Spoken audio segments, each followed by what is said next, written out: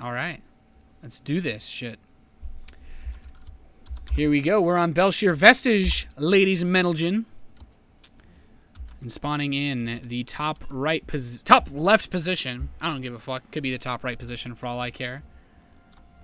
As the blue Terran player from Team Root Gaming, it is Chad Minigun Jones. Also known as Chad Lady Killer slash big fan of Wendy's Jones. It's probably the number one contributor to littering at the Root House. And his opponent in the southeast, who sent out a very early probe for some. Ooh, not quite the most epic proxy, but it's coming from none other than the Brovolo himself, Avilo. That probe turns its back to us. It also gives no fucks. So, we saw. I actually didn't see the first two games of this. I'll just be um, completely straightforward, honest. Um, so I just kind of jumped in here and said, guys, let's just raise the prize pool by 100 bucks for no reason. 10 supply gateway for Avilo will be his choice of tactics. And it looks like this is just going to be a standard straight up Zealot Mothership Core Stalker Rush. So this this should already get pretty weird. Um, goodness knows what's going to happen in this game.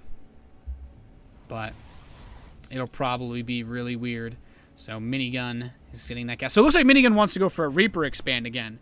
And this build is actually, um, this build is actually pretty solid versus what Minigun's doing.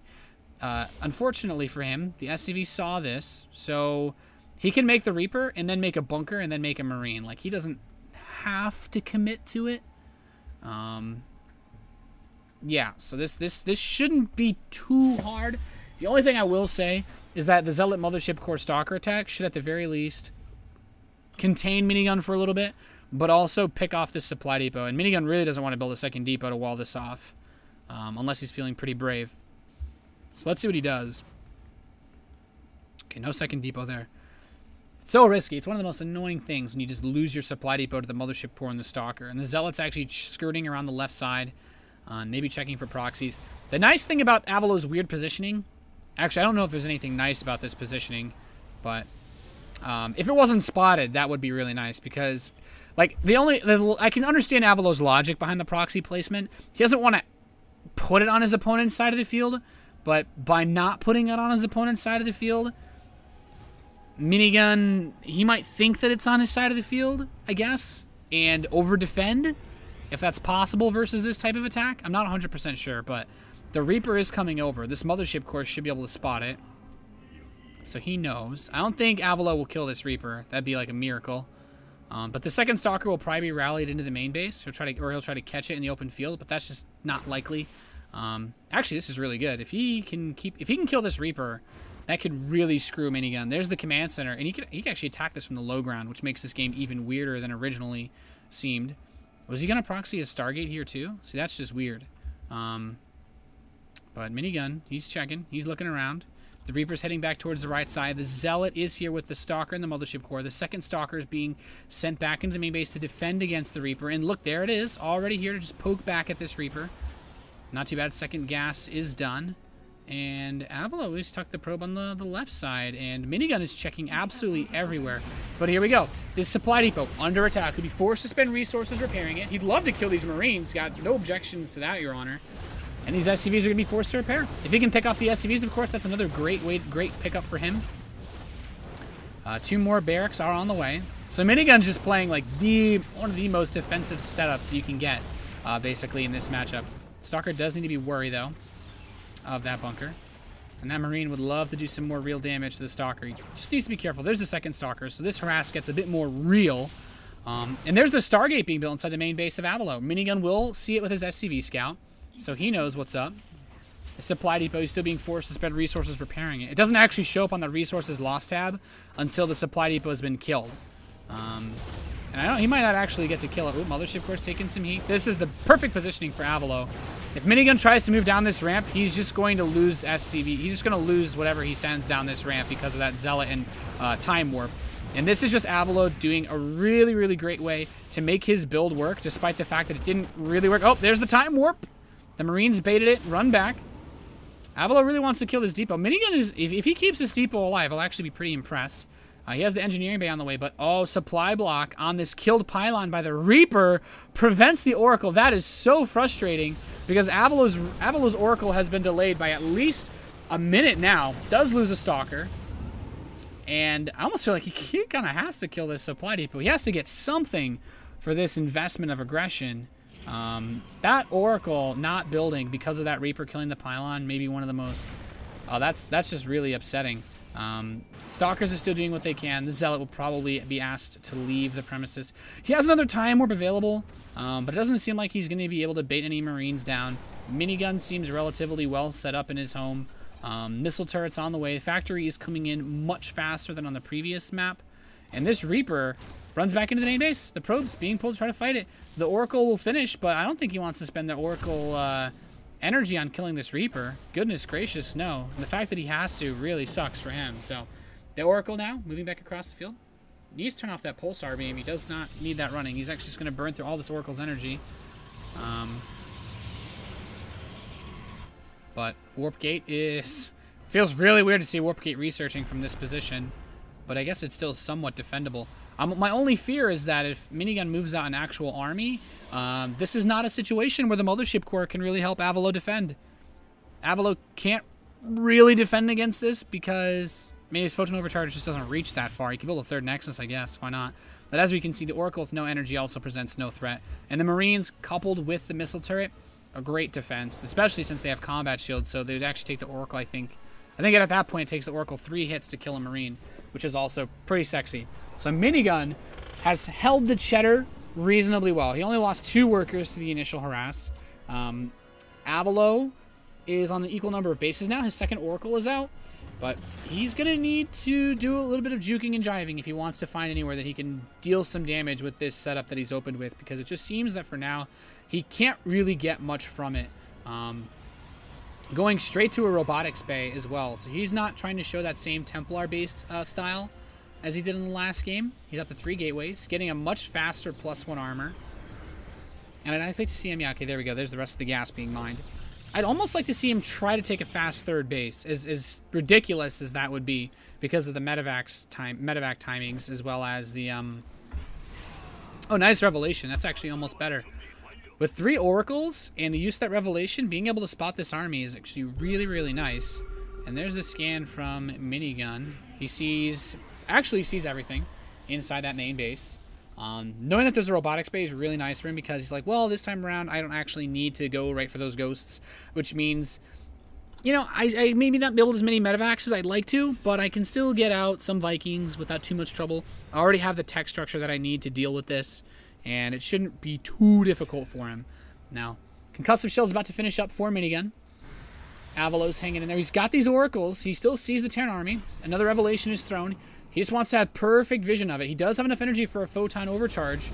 And there it is, immediately activated. Unfortunately, the Cybernetics Core in this gateway, like I said, it's their time to die. Um, no preemptive replacement of the Cybernetics Core means that he can't get a Twilight Council. So he can't go right for plus two armor. But he can get, um, he can't just get his plus one attack. He can still build Colossi, which I guess is, is his primary goal at this point in the game. Um, and it looks like Minigun might just try to wait out the Photon Overcharge, but I hope he realizes with full energy, this Mothership Core had full energy, so the Photon Overcharge, by the time that he tries to attack him, he'll have enough to use it again on the Nexus and the Natural. And maybe he could try to go right into the main base after he forces it a second time, but I don't think he needs to. There's the big drop into the main base. Oh, everything is here, though, to defend for Avilo. This shouldn't do anything for Minigun. And he's already been forced back, which is really nice. Oh, Minigun. He really wants to drop here. But a couple units run into the natural. This Photon Cannon, though. His way, he's just kind of saying, no, uh, no copy pastorino, sir. And picks everything off with those oracles. The drop hits the main base. There are zealots and stalkers here, but those will die very quickly. The Colossus is coming up. Range is not done yet. He might try to snipe this. The oracle's actually adding in a lot of damage. They've managed to get Actually, the Oracles are killing a lot of shit right here, but it seems that Minigun is still going to do a pretty solid amount of damage. He's traded away a lot of his army, um, but he's killed off he still actually has an army lead, and he's killed off a good couple of probes. So Minigun now at the economic lead, the army supply lead, and a third command center. This is a really good position to be in uh, if you're Minigun. I almost think, I guess he doesn't have enough army to do anything ridiculous like an SCV pull, but that's pretty solid. I think Avilo keeping the Colossi alive is the only reason he's not completely boned. Um, has he not rebuilt the cybernetics core? Am I blind? What the? There it is. I think he just now realizes... Oh man, that factory's in the third. So this game has gotten really awkward. This Oracle still has its Pulsar beam on too, so it's just going to lose all of its energy. Goodness knows how long that was going for. You know, Pulsar beam, out of any ability that requires energy to be turned on, like Cloak, Pulsar beam uses the most. Uh, it's like 2 energy per second, whereas Banshee Cloak is 0.9, and then Ghosts are 1.1 energy a second for Cloak. So or, Oracles burn through their energy really fast if you leave them running. Really bad for electric bills. But Vikings are on the way, and due to that weird cybernetics core timing, it's back now. But the Twilight Council still has not yet been started, and I feel like he needs to add the Twilight. There it is. Maybe a second Forge as well, since he, he could just go straight into 2-2. Um, but even that will be really difficult to make work. These Oracles run straight into that Bio Army, both of them dying. So Avilo no longer has his uh, scouting presence that the Oracles afforded him.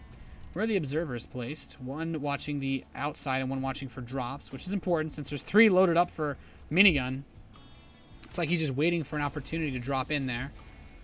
Avilo's defense with the Templar was pretty good in the last map. I'd like to see him go back to that. But Minigun already having this saturated third puts him in a really sweet spot. Like, Minigun is just in a good position um, because he has so much more income than his opponent. He actually has an upgrade advantage. He's 2-2 is on the way. 2-2 not even started for Avilo. And keep in mind, Avilo's actually still on one forge. So Minigun is in a great position. I honestly feel like it was kind of bad luck almost on Avilo's part. Everything he tried to do in the beginning of the game got scouted out. Um, Minigun, and it feels weird to say Minigun got lucky because he did prepare very well versus what his opponent did. He didn't lose anything to Avilo's attack. He did a good job of defending it, but managing to find every pylon that was on the map, managing to find that proxy at the very, very beginning. If he ran the SCV straight in, he definitely wouldn't have seen this setup there. So it's weird, but Minigun has caught a good couple breaks, and he's actually going to go straight for a fourth base. The third has not even yet started for Avilo. The army's trying to come save this, but loses the sentry. And he doesn't have charge. Um, he doesn't have his plus two. The Templar Archives is on the way, but is being forced to move super, super slowly, and this this is the biggest difficulty of it all. Thankfully, this Observer sees the Medivacs, so if Avilo keeps his eyes open, he shouldn't lose anything to it. He's actually pulled back Colossi to try to defend, but Avilo has to keep his army perfectly split. Minigun scans, he says, oh, okay, this is going to be easy peasy cleanup, because the majority of your army is actually tucked in your main base, like that Colossi twerking right there. There's the big drop in the main. So he has enough here to defend against this without losing too much. But this third base from Avilo is about to get hit by a train. Chad uh, Wrecking Ball Jones is about to smash in. And I don't know if this army is going to get there in time. Not even the Mothership Core is here for a time warp or anything weird of that sort. A couple force fields try to slow it down, but the Vikings kill a Colossus. No trouble at all, and he will snipe off another one Avilo, ooh, there's no anti-air to save this. The Stalkers are not in position. The Colossi are just dying super fast. There's so many Vikings here for Minigun. He's just two-shotting these. GG Avilo realizes, okay, can't take that game.